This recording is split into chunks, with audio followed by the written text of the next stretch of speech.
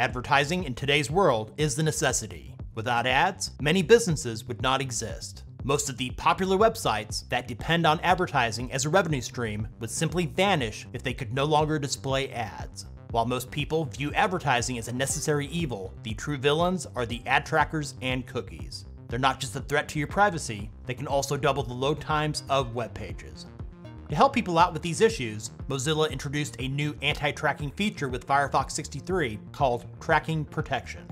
When they released Firefox 65, they changed the name to Content Blocking and made numerous improvements, including redesigning this feature. For content blocking, Firefox has teamed up with the popular privacy company Disconnect. With this partnership, when you're browsing the internet, Firefox can block a list of known trackers. On the Disconnect website, you can find out which trackers they block and trackers they don't block, along with explanations as to why they choose to block some and not others. With the background stuff out of the way, I'll now show you step by step how to enable content blocking in Firefox. To ensure that you're running the latest version of Firefox, go to the menu bar. If it's not visible, hit the Alt key on your keyboard, go to Help, and select About Firefox.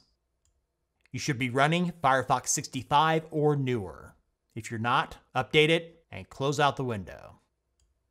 To find the content blocking settings, open the menu in the upper right and select Content Blocking.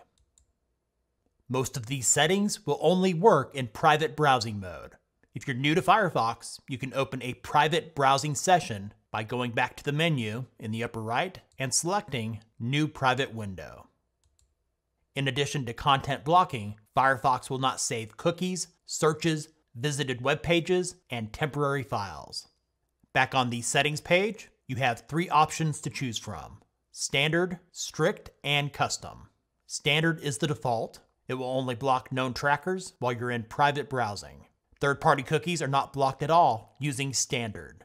Using Strict will block all trackers and third-party cookies in private and regular sessions. Using strict mode may cause web pages to load improperly, or in some cases, not load at all. You can disable blocking on the sites you trust. I'll show you how to turn off blocking for individual sites later on. If you set content blocking to custom, it gives you even more control. You have the choice to enable blocking for either trackers or cookies, or both. For trackers, selecting the drop-down menu, you can set it to block trackers in private windows only or in all windows.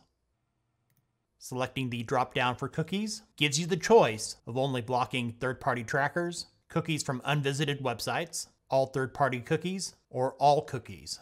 I recommend not selecting all cookies. It will give you a miserable browsing experience. Choose one of the other three instead. Just below trackers, selecting Change Block List lets you choose between a basic and strict list for protection. Try experimenting with both lists to find out which one works best for you. If you switch lists here, make sure to click on Save Changes. Below the three choices, you can have Firefox send a do not track signal to the websites you visit. I really don't know how useful this is. I doubt websites are paying attention to this at all. In case they are paying attention, select Always. I'll use this webpage for this old dinosaur of a company as an example. They seem to be fixated on writing negative articles about YouTube. This is what their webpage looks like with content blocking turned off. And this is what that same webpage in private browsing using standard content blocking looks like. To view what is being blocked, select the shield icon in the address bar.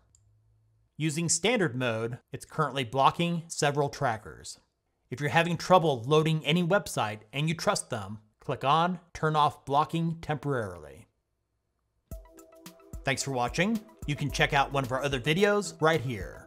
If this video was useful for you, give it a thumbs up, share with others, hit that subscribe button, and ring the bell so you don't miss out on the newest videos coming soon here on Tech Gumbo.